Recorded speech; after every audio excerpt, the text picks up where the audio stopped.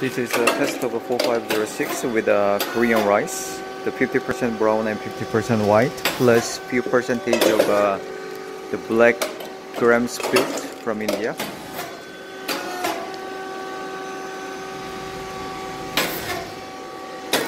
This is uh, the black gram split.